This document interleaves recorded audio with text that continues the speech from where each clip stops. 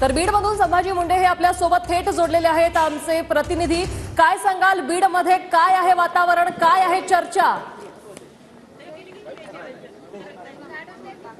श्रुती आपण पाहू शकतात की सकाळी आठ वाजल्यापासून मतमोजणीला सुरुवात होणार आहे. आता सकाळचे सात वाजलेले आपण पाहू शकता या ठिकाणी कार्यकर्त्यांची भेट लागलेली आहे. या ठिकाणी संपूर्ण बंदोबस्त देखील मोठ्या प्रमाणात लावण्यात लावण्यात आलेला आहे. या ठिकाणी पाहिलं तर परळी मतदारसंघामध्ये धनंजय मुंडे यांच्या विरोधामध्ये राजासाहेब देशमुख यांची लढत आहे. राष्ट्रवादी विरुद्ध राष्ट्रवादी असा सामना होणार आहे. दुपार दोन वाजेपर्यंत निकाल येण्याची शक्यता आहे. त्यामुळे पाहू शकतो या ठिकाणी आता कार्यकर्त्यांची भेट लागलेली आहे. पोलिसांचा मोठा बंदोबस्त देखील या ठिकाणी लावलेला आहे. प्रत्येक माणसाला या ठिकाणी चेक केलं जात आहे. चेक करून आतमध्ये सोडले जाते मोबाईल यांचे नीचे दिले जात नाही त्यामुळे पाहू शकतो. दुपारी दोन वाजेपर्यंत या ठिकाणी आता निकाल येण्याची शक्यता आहे. आणि या पाहू शरद पवार यांनी सुद्धा परिषद मतदारसंघामध्ये सभा घेतली होती. आणि आता दुपारी दुपारी दोन वाजेपर्यंत निकाल येणार कोण आता बाजी मारणार ह्याकडे संपूर्ण महाराष्ट्रात देखील लक्ष लागलेले होते नक्कीच. धन्यवाद तुम्ही दिलेल्या या माहितीसाठी.